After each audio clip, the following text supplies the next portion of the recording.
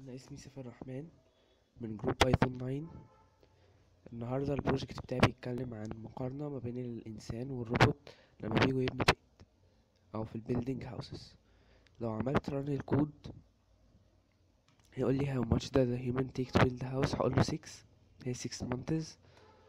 و how much the robot take to build a house? 3 days. لو عملت equal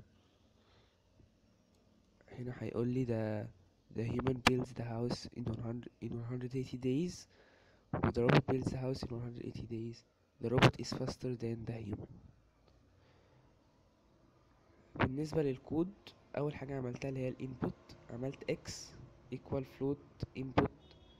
how much does the human take to build house الفلوت دي عملتها عشان احول اللي هو السترينج ل float وال y عملت برضو float وبعدين هعمل input اخلي ال user هو اللي يحط ال الرقم اللي هو عايزه how much does the human does the robot take to build the house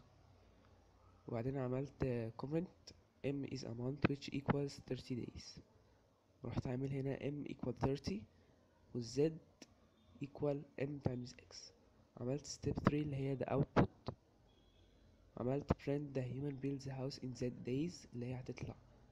من آه، m times x و print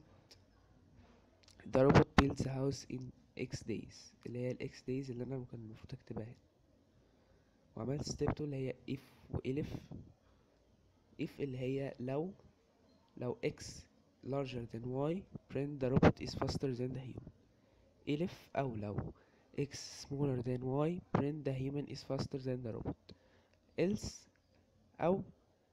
print they are equal لما عملت run الكود طلع لي how much does the human take to build the house عملت 6 months و how much does the robot take to build the house 3 days بعدين طلع لي the human builds the house in 180 days ال human بيبني البيت في 180 days و the robot build the house in, one, in 6 days وبعدين طلع لي the robot is faster than the human